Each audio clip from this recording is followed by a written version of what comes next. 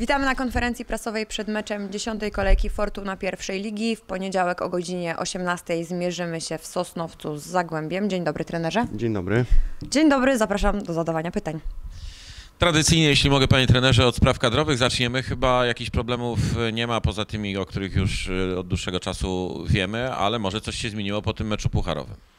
No czy jedynie co, no to, to, to wi- wiadomo, walczymy tutaj e, z tym urazem, jeszcze tu diagnoza musi być jakby sprecyzowana, ale generalnie e, Adama Frączaka, e, no, miejmy nadzieję, że to nie będzie, będzie e, dłuższy uraz, no jest brany pod uwagę bardzo poważnie pod względem tego meczu z Zagłębiem Sosnowiec, a reszta zawodników są zdrowi, zdrowi i, i, i to jest najważniejsze, czyli, czyli nie ma tutaj, nie ma tutaj żadnych na, na dzień dzisiejszy przyczyn, żeby ktokolwiek nie zagrał, oprócz wiadomo tych, tych y, Jacka Kiełba, natomiast Marcel wrócił do 100% tak do treningów, wiadomo, potrzeba czasu, żeby doszedł do takiej dyspozycji fizycznej, ale też już y, niedługo będzie brany pod uwagę w ustalaniu tej, tej, tej dwudziestki czy, czy jedenastki na mecz. Pozytywny ból głowy z pewnością u pana trenera, biorąc pod uwagę postawę piłkarzy, choćby w tym, znaczy właściwie to przez pryzmat tego meczu pucharowego patrzmy, no bo ten poprzedni nie był udany, ale ta środa dała nam wiele radości.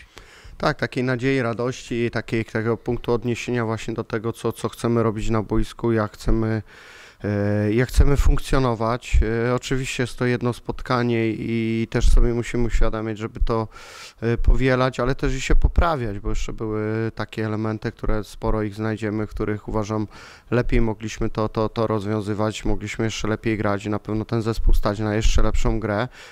Pozytywny ból głowy, ale taki na, na, na plus, że to co powiedziałem po meczu, że zawodnicy, którzy wchodzili, to, tą grę praktycznie ta gra była dalej płynna, dalej, dalej funkcjonowaliśmy w tych ramach strategicznych, jeżeli chodzi o taktykę, tak samo. Także to jest, to jest bardzo istotne, ważne, bo no jest duża rywalizacja i, i taki pozytywny, ale fajny ból głowy, ale i świadomość tego, że nawet jeżeli ktoś znów będzie na, na ławce, nawet tej pierwszej jedenastki z Płocka, to wiemy, że będzie w 100% gotowy, że, żeby zastąpić e, kolegę na boisku w- w trakcie meczu.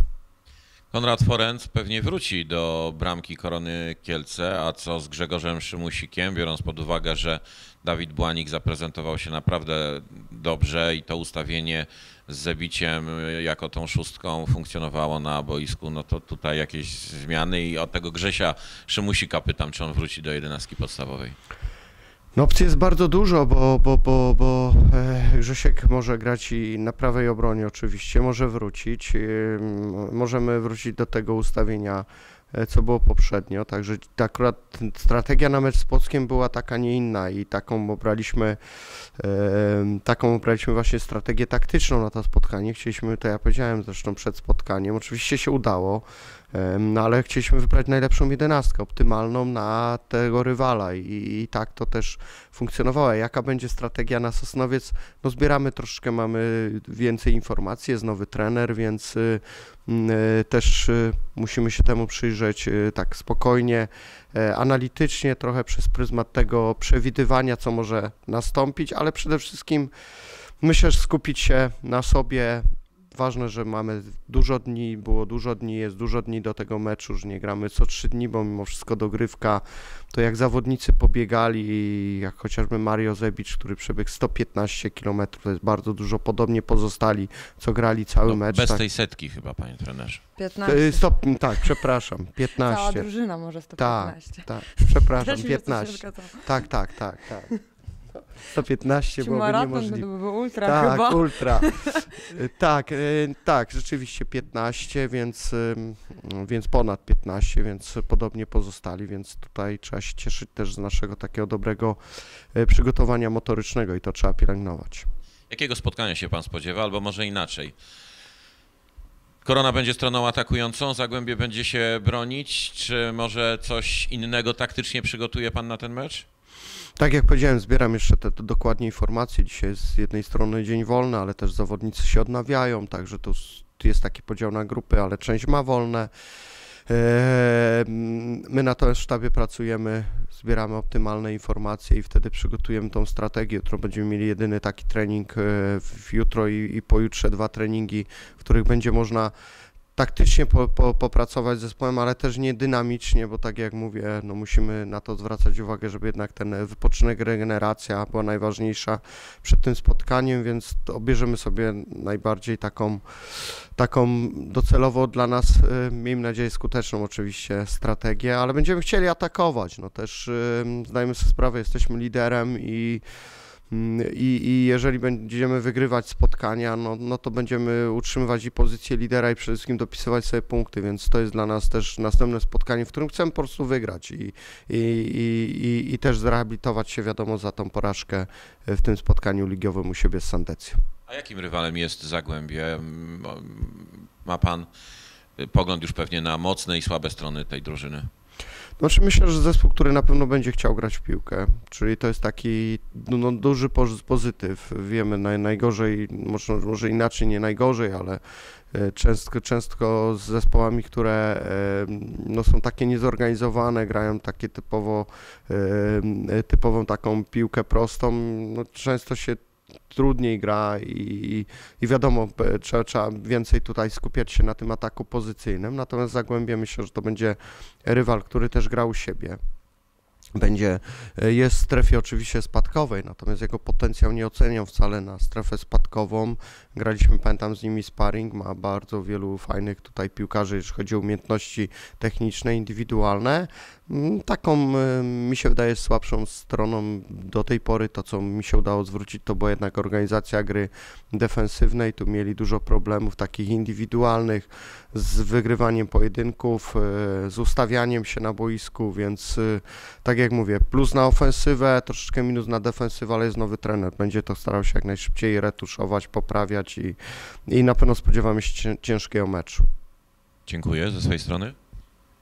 Dziękujemy. Za chwilę druga część konferencji. Dziękuję. Gościem drugiej części konferencji jest Łukasz Sierpina. Dzień dobry, Łukasz. Cześć. Cześć. Y, zapraszam do zadawania pytań. Łukasz, patrzyłeś w swoje statystyki, ile kilometrów udało Ci się przebiec w tym meczu Pucharu Polski z Wisłą Płock? To znaczy, no tak, no, te, te dane gdzieś tam mamy na bieżąco podawane.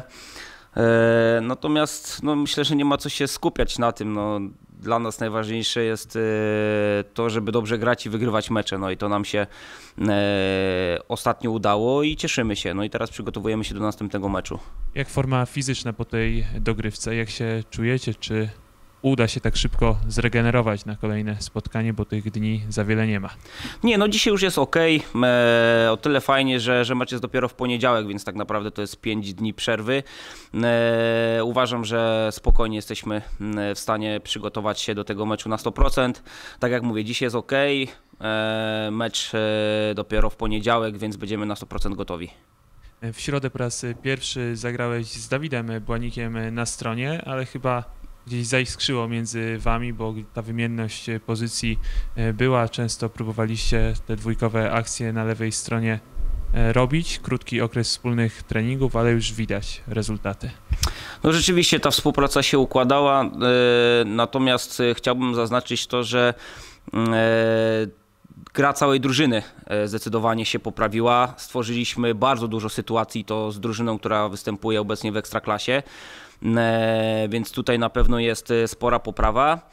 E, aczkolwiek ja bym troszeczkę tonował te emocje, bo wiadomo, Puchar Polski, ale my chcemy, chcemy solidnie podejść do następnych meczów w lidze, bo chcemy je po prostu wygrywać i piąć się w górę tabeli tym meczu dużo zrobili dobrego zmiennicy i widać, że ta rywalizacja pozytywnie wpływa też na zawodników podstawowego e, składu. Widać, że tak wzajemnie się trochę nakręcacie. Tak to wygląda na treningach?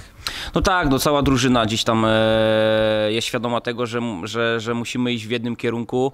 E, no tak, e, tak w piłce jest, że, że jedni grają więcej, drudzy mniej, natomiast e, chwała dla drużyny, dla chłopaków, którzy wchodzą z ławki, że mają tą świadomość, że wiedzą, że jeżeli wejdą nawet czy 5 czy 10 minut, no to, to, to muszą pomóc drużynie.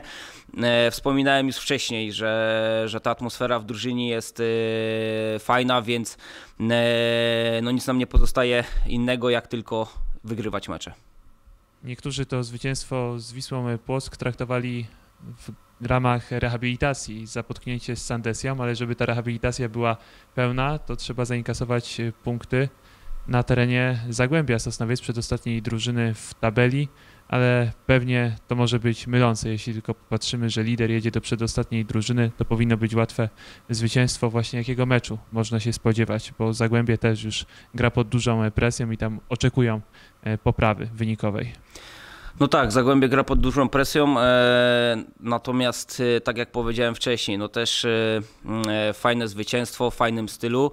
Natomiast troszeczkę e, ustonujmy to, bo, bo tak jak powiedziałem, mecz pucharowy to mecz pucharowy, a mecz ligowy rządzi się innymi prawami, e, bo, bo Zagłębie Sosnowiec łatwo skóry nie odda, na pewno będzie walczyło e, o punkty.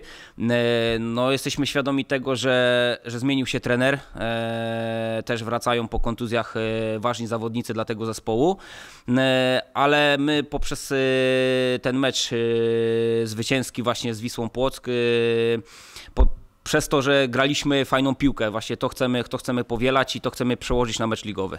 Czyli możemy spodziewać się korony atakującej od początku i grającej w takim stylu jak z Wisłą. Myślę, że tak. To ja jeszcze tylko jedno pytanie. Jadąc do Sosnowca, Korona Kielce jest faworytem tego spotkania. Nie ma się chyba co oszukiwać. Ja wiem, że zawsze będziemy y, mówili, że każdy mecz jest inny, że nie ma co oceniać po y, miejscu w tabeli, no ale jednak, jakbym miał ocenić, to, to żółto-czerwoni są faworytami. Yy, tak to wygląda. Nawet jak spojrzymy na tabelę, no to nie ma co się oszukiwać. E, natomiast e, my jesteśmy świadomą drużyną. Wiemy, że, że mecze na wyjazdach, nawet e, z drużynami, które są na dole tabeli, są bardzo ciężkie. Tak jak powiedziałem, oni będą, oni będą walczyli, oni będą chcieli nam wyrwać te punkty, no bo, no bo są na dole i chcą, chcą się na pewno piąć w górę. Ale my jedziemy po to, żeby zdobyć tam trzy punkty i po to, żeby zostać na miejscu numer jeden te wyjazdy nawet i w tym sezonie łatwe nie były. Olsztyn, Rzeszów, tylko zwycięstwa 1 do 0 po meczach trudnych. No tak, zgadza się. No, tak jak powiedziałem, no każdy, każdy mecz wyjazdowy jest trudny, bo wiadomo, e, do nas jak drużyny przyjeżdżają, no to my czujemy to, że jest wsparcie naszych kibiców, gramy u siebie na swoim stadionie e, i za wszelką cenę chcemy, żeby te trzy punkty zostały u nas. Tak samo podchodzą do tego drużyny, e, które grają u siebie, gdzie przyjeżdża Korona. Tym bardziej, że przyjeżdża Korona, bo to jest drużyna, która prowadzi teraz w tabeli i na pewno będą na nas się drużyny wszystkie spinały. No tak jak powiedziałem, dla nas jest najważniejsze, żeby zagrać tam dobry mecz i wywieźć dla nas ważne trzy punkty. Tak na koniec, jakie ty masz wspomnienia z Sosnowcem związane? Sportowe oczywiście. No, ja wiem, czy mam jakieś y, wspomnienia, y, znaczy no, rzeczy, które pamiętam stamtąd. Na pewno, e, gdy robiłem awans, no to, to nie przegrałem tam, więc e, chciałbym to utrzymać. No to tego życzę. Dziękuję. I dziękuję, żeby nie zapeszać. Dziękujemy. Do widzenia.